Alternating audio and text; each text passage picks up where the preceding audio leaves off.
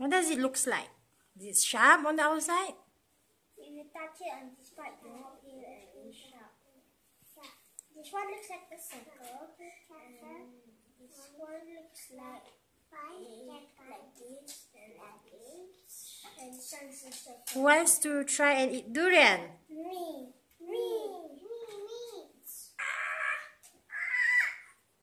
This is what the durian looks like inside. Inside.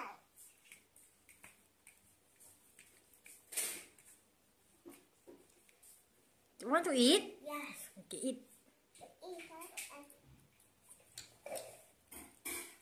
What is the taste? Sweet. Sweet. How's the smell? Nice. Nice. Uh, Aniko like durian? Mm.